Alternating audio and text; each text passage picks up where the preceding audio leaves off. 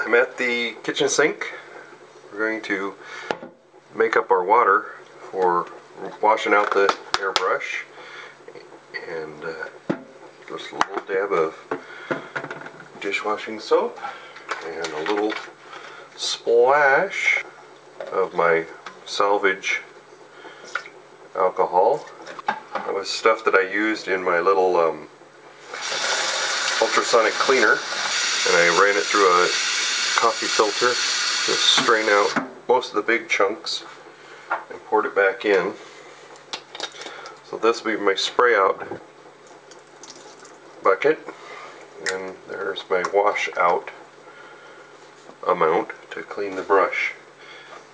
And we're going to try using the uh, the small paint cup today instead of using the big bottle because that seemed like we used very little paint and had a whole bunch left to take out. So we'll go out to the spray booth and I'll show you what I got. And we pretty much got the same setup as we had last time, except my wife has commandeered most of the painting table for her little project. But I have an old computer case as my wind block because it was a little windier out here today. Trusty red board and we've got the paint cup stuck to the airbrush. I didn't really find any instructions in the manual about how to attach all this stuff. So I'm assuming that's the way it goes and we'll give it a shot. I've never used one before. What I decided that the stripe in the pictures runs along, you know, through this grill area and a bit below it across the cab windows and then it it angles down and goes out the nose and down the middle. Well this base coat that I gave is not quite white enough to give me the effect that I want so I'm going to run a stripe down both sides and get that a little whiter and brighter and same on the nose and then we'll mask that off. Now the back end I'm not really sure because I've never seen a picture of the back end whether it has the stripe going all the way across or does the stripe end at the rear and this is just either gray or blue I don't know but we're going to shoot it as though the stripe goes all the way across and uh, and give that a shot. If somebody comes up with information that says that's not the way it is, mask it and reshoot it whatever color it's supposed to be. So I'll try and keep you guys centered up on the frame a bit better than I did last time. Let me put my gloves on and load the, the cup and I'll be right back. Okay, got the cup loaded up with paint. We're going to take a test shot on my, my little experimental board here and make sure I've got my line width down that I want. And remember not to tip the cup because now I can't just go wherever I want. But we can vary this and make a pretty good stream and cover a small area. And uh, I think we'll it'll work well. I'm really impressed with this little gun so let's see what we can get.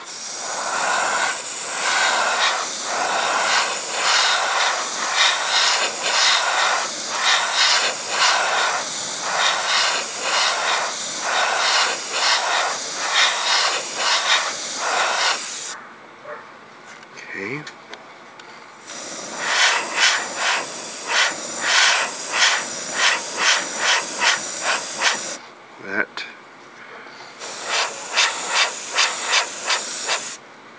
is looking much better.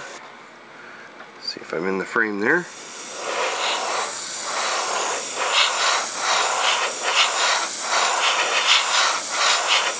So I'm trying to go about halfway down on the panel below the grills. I don't want it to get too thick because I don't want to obscure all that nice detail. Okay, and then we're going to shoot across the corner. I'm just going to shoot the whole front end and get that pretty bright. And I think that will work. And this really does not take much paint at all to do something like this. The other day when I was doing this, I was shooting with about 30 psi. Today I dropped the pressure down to 20, 25.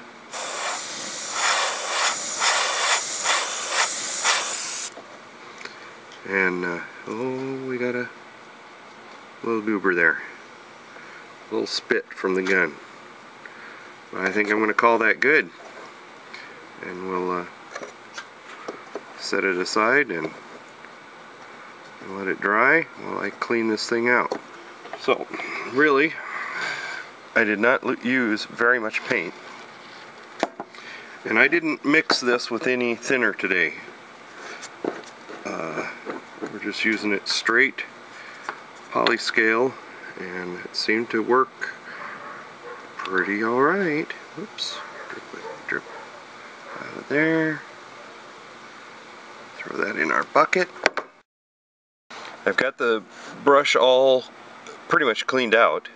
Um, but I took the little nozzle off because I can notice there's a little bit of buildup in there. So we'll rinse that real good and wipe it out with a towel. I don't know if everybody disassembles their gun every time, but I like to at least pull it apart, take the tip off, the disperser or whatever you want to call that thing, and then usually I pull that off it, pull that off.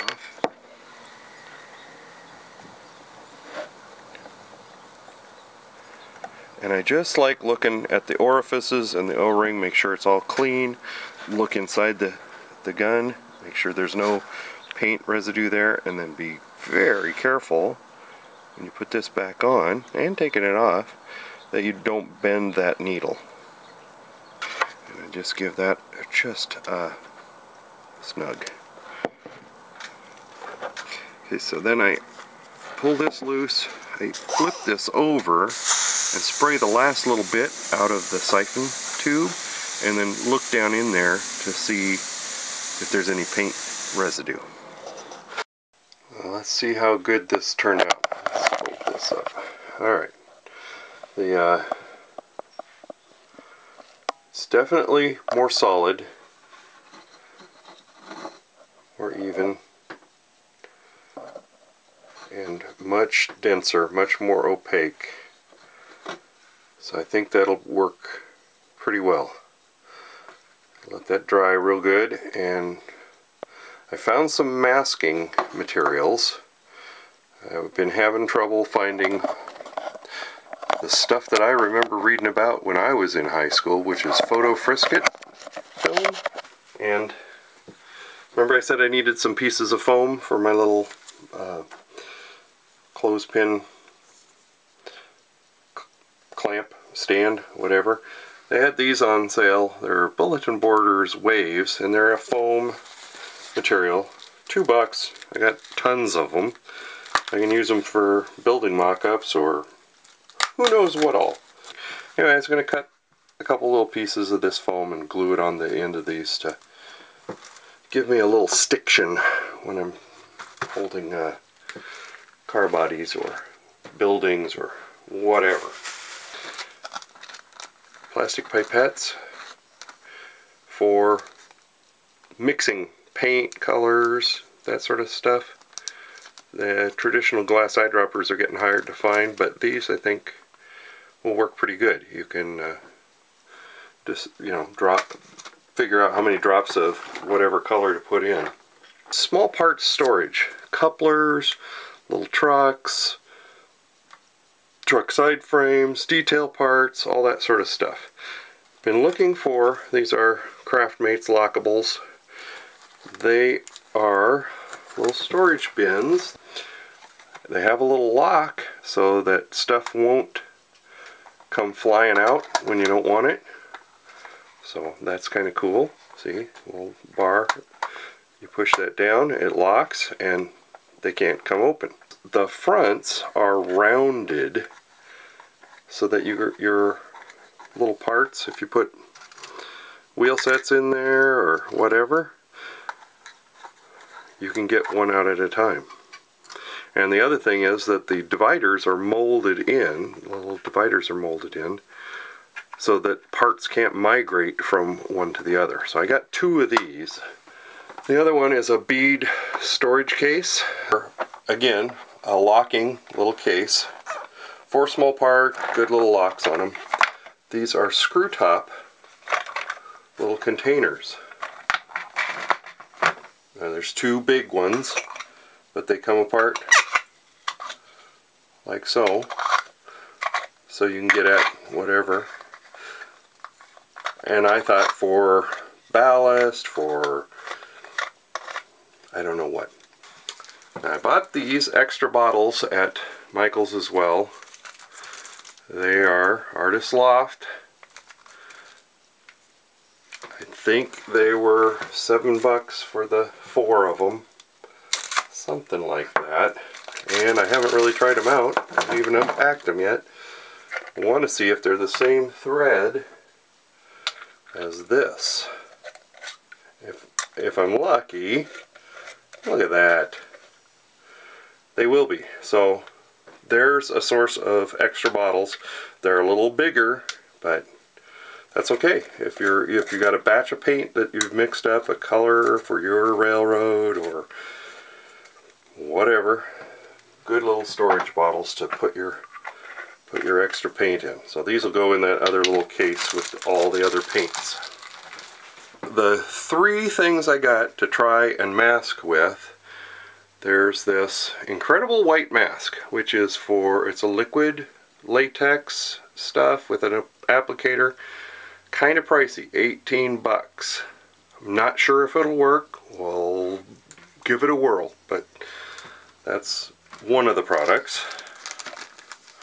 The second thing I got was this artist tape. And I believe it's just regular masking tape, but it is very, very thin, if you can see that. It's probably about an eighth of an inch or so wide, maybe, yeah, it says it's eighth inch wide.